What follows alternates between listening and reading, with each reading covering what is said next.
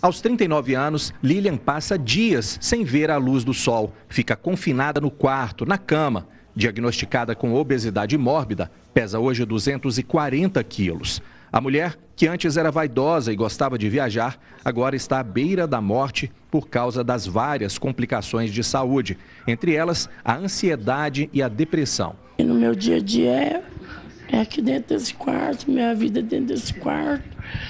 Abaixo de Deus eu tenho meu filho que muito me ajuda, meu pai, meus irmãos.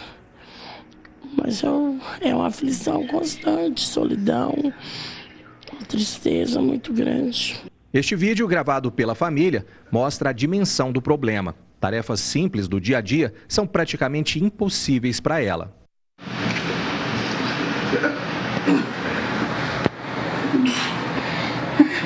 Lilian se levanta apenas uma vez por dia para ir ao banheiro e tomar banho.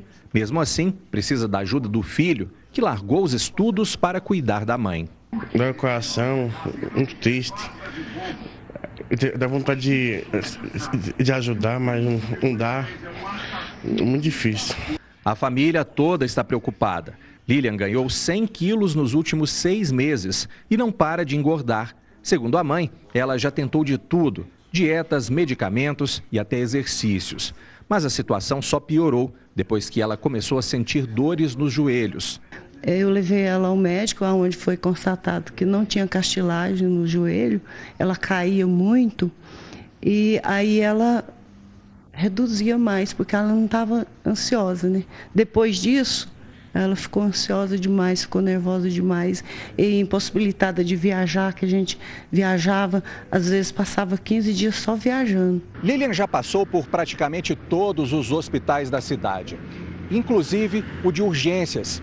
Ela geralmente vem até aqui quando tem crises de diabetes e hipertensão é medicada e recebe alta. Isso porque em Anápolis não existem hospitais públicos especializados no tratamento da obesidade mórbida. O transporte dela não pode ser feito em carros comuns, só em vans do SAMU ou do Corpo de Bombeiros. O irmão está preocupado. Os últimos laudos médicos apontam que ela precisa de tratamento especializado com urgência. Além de hipertensão e da diabetes, existe o risco do coração parar de funcionar a qualquer momento. O fígado também está comprometido pela gordura e pela quantidade de medicamentos. O atendimento é, é bom, só que não é especialista, né? não é especializado para isso.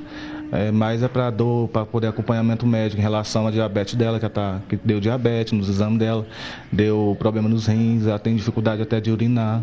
Enquanto espera pelo socorro, Lilian se distrai com a novela Os Dez Mandamentos, a única inspiração que ela tem para manter a esperança e lutar. O que me faz bem é a novela, porque tem fortalecido muito a minha fé.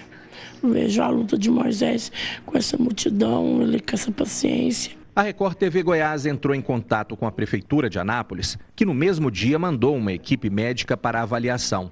Os médicos voltaram no dia seguinte. Nossa equipe acompanhou tudo.